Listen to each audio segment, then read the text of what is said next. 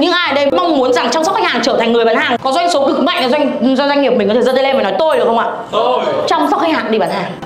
Có ai muốn rằng kế toán cũng phải đi bán hàng có thể giơ tay lên và nói tôi được không ạ? Tôi. Nếu mà anh chị là khách hàng của Hoa Nam thì anh chị sẽ biết được rằng là Tết kế toán là người đi mời anh chị tham gia cái chương trình đưa tiền trước cho Hoa Nam. Tức là Tết thì làm gì có hàng về, đúng không anh chị? Hoa Nam là một công ty mà chuyên dịch vụ vận chuyển hàng từ Trung Quốc về Việt Nam. Và Tết là lúc mà không có ai vận chuyển hết. Và lúc đấy thì Tết thì không có doanh thu. Thế nhưng mà chi phí cố định vẫn có, đúng không mọi người? vẫn có, vẫn phải nuôi anh em. Anh em nhiều, vẫn nuôi. Thế mà nghĩ thế nào? À nghĩ ra một cách là à bây giờ mình chơi quay số đi. Cho khách hàng chơi trong cái sân của mình. Chơi quay số đi. Quay được bao nhiêu? Quà gì? Thì nhận quà đấy. Và quà là gì? Ưu đãi nạp ví. Nạp ví nếu ưu đãi nạp ví 20% thì nạp 100 triệu sẽ được. 120 triệu. Thế khách hàng có vui không mọi người? Có. Tự nhiên có 20 triệu đúng không? Tiền thật mà. Tự nhiên có 20 triệu đúng không? Thế thì mình có vui không mọi người? May quá có chi phí để đỡ cái chi phí cố định tháng tết? Không không có hàng về. Nhân viên có vui không mọi người? Có doanh thu trong tương lai. Thì kiểu gì họ nạp ví thì họ có đi hàng không ạ? Có. Đấy đấy là cách mà trong 4 ngày tết có được tỷ một. Để trang trải tiền sinh hoạt phí cho các anh em mọi người thấy cái cái cách để cho người chơi được sale được nhân viên kinh doanh được chăm sóc khách hàng được kế toán tham gia vào công chuyện bán hàng. Mọi người thấy tuyệt vời không mọi người? Có. Một tràng tay cho các anh em tuyệt vời đấy chứ rồi việc của chúng ta đó là về lại doanh nghiệp chúng ta và thiết kế những con người tuyệt vời như thế. Họ tập trung để tạo giá trị cho khách hàng. Họ tập trung để tạo giá trị cho doanh nghiệp. Họ tập trung để tạo ra tiền của bản thân họ. Đào tạo cơ bản có nghĩa là gì? Là cách mà chúng ta hướng dẫn cho những người mới đầu làm quen với công việc, với những kỹ năng của cái công việc mà chúng, mà họ phải làm một cách dễ dàng nhất và cách dễ dàng nhất để có thể đào tạo cho những người mới. Đó là nhìn những công thức thành công của những người cũ. Có nghĩa rằng khi chúng ta làm việc với khách hàng, có nghĩa rằng khi chúng ta sửa một cái bộ phận kỹ thuật nào đấy, ví dụ kỹ thuật đây là máy in đúng không? Lỗi lỗi chống in không ra mực đều đúng không? Có lỗi đấy không? Rồi, ok. Lỗi chống in không ra mực đều sẽ phải sửa như thế nào? Sẽ có một người ngồi viết ra cách sửa. Viết ra à thế nào được nhận định là lỗi trống, không ra, đều mực. Ok, nếu bạn làm nhân viên kho thì việc đầu ngày của bạn là phải gì? Phải kiểm kê lại số lượng hàng của hôm qua, xem khớp sổ, chốt sổ hôm qua có khớp không. Thì đấy là một cách để làm gì ạ? Nhân sự. Dạy nhân sự. Công nhận và ghi nhận họ. ấy mình trả thêm một khoản thưởng cho họ. Thì những cái gì tinh túy nhất, tinh hoa nhất, những cái công việc đang làm thành công của họ sẽ được viết xuống. Và đấy là cách chúng ta tạo ra bộ đào tạo cơ bản. Có hiểu không ạ? Nếu với với câu chuyện là nếu một nhân viên kinh doanh thì họ cần gì? Họ cần những kịch bản chốt sale thành công. Thì ông nào chốt sale thành công mà ông ấy có khách ấy, thì sẽ bảo ông ấy là gì? Em chia sẻ lại hoặc viết lại những cách mà em làm thế nào để thuyết phục được khách này đi em quay lại màn hình trong cái đoạn tin nhắn mà em nhắn tin với khách từng bước từng bước làm sao em chốt rồi đi. Gửi lên trên nhóm cho mọi người cùng cùng xem. Thì có một cái cách ấy, để làm sao ấy, mọi người sẽ nghĩ đến việc là làm sao để họ tự gửi lên nhóm đúng không mọi người? Đấy chính là việc mà chúng ta phải xây dựng văn hóa. Việc chúng ta phải đưa một văn hóa là giá trị cốt lõi ngay từ ban đầu vào công ty đó là việc quan trọng, vô cùng quan trọng vì họ hiểu được họ phải làm như thế. Đã là người của Hoa Nam phải làm như thế. Và một trong những cái giá trị văn hóa của Hoa Nam đó chính là tôi thực hành lòng biết ơn mỗi ngày. Rồi mở nhóm là biết ơn đi. Nhóm của Hoa Nam, biết ơn, tôi thực hành lòng biết ơn mỗi ngày. Và cứ có cái gì đúng ấy, hay là các bạn chia sẻ đấy biết ơn khách hàng đã cho tôi cơ hội được phục vụ khách hàng. Và chia sẻ với anh em đây là những cái tin nhắn thành công mà tôi đã chốt được khách và những người khác ấy họ sẽ làm gì? Biết ơn bạn cảm ơn bạn đã chia sẻ hay quá. Đấy biết ơn khách ừ, nhóm đồng hành cùng nhau này. Biết ơn luôn nỗ nỗ lực làm việc này. Biết ơn khách hàng đã tin tưởng này. Ôi, từ từ từ từ ôi đây này có thế này. Chị ngọc đấng ân nhân cứu rỗi cuộc đời tôi đấy. Của bọn em họ của mà để tên cái này cái này là đây là zalo cá nhân của bạn ý đấy nhá.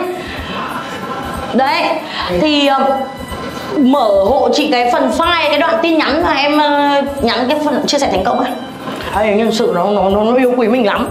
Mình giúp nó mình luôn luôn tập trung để để để phục vụ nhân sự như phục vụ khách hàng mà. Mình phục vụ khách hàng đến tầm của đến tầm nhà chủ doanh nghiệp ấy thì khách hàng của mình có phải là khách hàng nữa không? Không, nhưng anh chị nào mà khách hàng của mình bây giờ vẫn là là mắc là khách hàng của mình ấy, là chúng ta, đấy là dấu hiệu của việc chúng ta phải làm đội nhóm ấy. Chúng ta phải lên đến một cái tầm là khách hàng của mình lúc bấy giờ, bây giờ chỉ còn là nhân sự thôi. Chỉ phục vụ nhân sự thôi. Còn bây giờ khách hàng của mình vẫn là khách hàng, là có nghĩa là mình đang là khổ chủ. Còn khách hàng còn làm trực tiếp với mình thì mình còn là khổ chủ. Nên đấy là dấu hiệu mà cho thấy là mình phải bắt đầu xây dựng đội nhóm kéo lên có, có, có, có, tin nhắn gì? À cô bên phần uh, video. Máy này có không?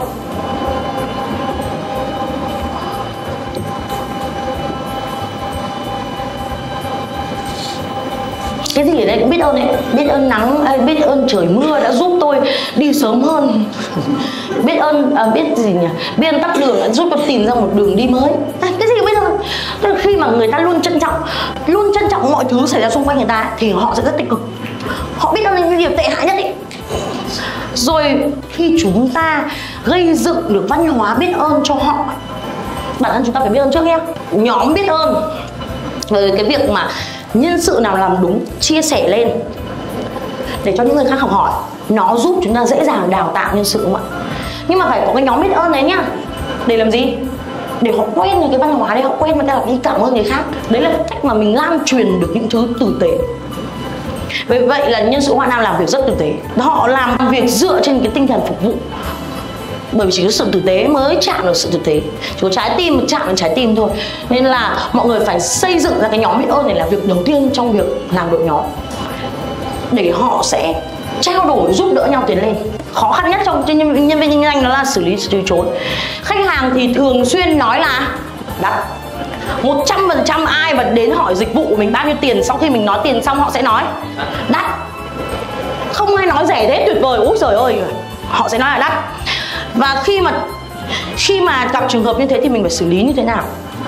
Thế thì những ai đã xử lý thành công những ai đã xử lý thắng được trong việc mà xử lý từ chối như thế thì bạn phải chia sẻ. Chia sẻ thì mình tổng hợp lại mình in những cái đúng nhất ra mình lưu truyền. Đấy là cách dạy dễ nhất. Cách dạy dễ thứ, thứ cách dạy thứ hai đó chính là dạy người ta dùng chat GPT dạy cho nhân sự dùng chat GPT để nói chuyện với chat GPT ví dụ, tôi ờ, đang gặp một khách hàng, tôi đang tư vấn một khách hàng nhập hàng từ trung quốc về việt nam, theo đường đường chính ngạch. Nhưng khách hàng nói rằng giá cả của tôi quá đắt hoặc mình copy hết cái đoạn hội thoại của chúng ta, gửi lên ChatGPT và mình nói gì? Hãy hỗ trợ tôi cách vào vai tôi là nhân viên kinh doanh của Hoa Nam, là người bán hàng. Hãy hỗ trợ tôi phương phương pháp trả lời, xử lý sự từ chối cho khách hàng trong trường hợp này. Gửi cái đoạn tin nhắn đấy lên, ChatGPT nó sẽ gợi ý ra thế thì cách đào tạo đơn giản thứ hai đó là đào tạo nhân sự làm gì? Ừ đúng rồi nhân hay quá hay không ngân rồi một tràng tay cho ngân đúng không ạ? Đào tạo nhân sự dùng ChatGPT thế đào tạo nhân sự dùng ChatGPT có dễ không mọi người? Rồi một câu lệnh ChatGPT cần mấy yếu tố? 6 yếu tố. Nội dung có rồi đúng chưa? Cứ nói đủ yếu tố ra là nó phản hồi đúng. Tiếp theo cách nào để đào tạo cơ bản nữa? Một là lưu lại ở trường hợp thực phẩm dạy nhân viên dùng chat GPT rồi, thứ ba mọi người. Đó chính là tạo ra một nhà đào tạo. Hãy cho những người mà kỹ thuật cao nhất, cho họ một mức lương, một mức lương thêm, thu nhập thêm là thu nhập về việc đào tạo. Để họ vừa làm kỹ thuật, họ còn thu được thêm thu nhập là gì? Dạy người khác. Nhưng với điều kiện là cái quy trình đào tạo cơ bản này là mình phải có trước. Họ sẽ dạy theo kiểu dạy sách giáo khoa ấy mọi người. Thì để đảm bảo rằng họ dạy đúng theo công ty. Chứ họ không xuyên tạc theo ý riêng của họ. Cho nhân sự làm tốt ví dụ nhân sự nào làm tốt xử lý từ chối cho xem tỷ lệ số sale cao ấy thì cho họ đào tạo về module xử lý. sự từ chối các bạn có thích được đào tạo không mọi người? Có. Có vì sao ở danh vọng. Oai mà. Bây giờ nhá, tự nhiên một ông đứng ở trên này với đội nhân sự mới. Nhưng chú chim ngơ ngác nhìn lên trên, idol của em. Chắc chắn tương lai em sẽ phải gì? Cũng được lên sân khấu giống anh. Cứ làm gì mà đáp ứng được càng nhiều nhu cầu cho họ thì họ càng yêu mình, đắm say. Cứ hai trên bốn nhu cầu là là đắm say rồi. Mà bây giờ này, sống là giả lương được, đầy đủ không nợ lương. Là cũng yêu rồi nha cung cấp thêm tiền vì thưởng với hoa hồng, yêu rồi nha. Kết nối với họ, yêu thương họ lại yêu lắm, yêu đắm, yêu say, yêu mê, yêu muội rồi yêu. Em làm cả đời này với chị rồi. Lại còn danh vọng nữa thì trời sao? Em tận được cho anh chị.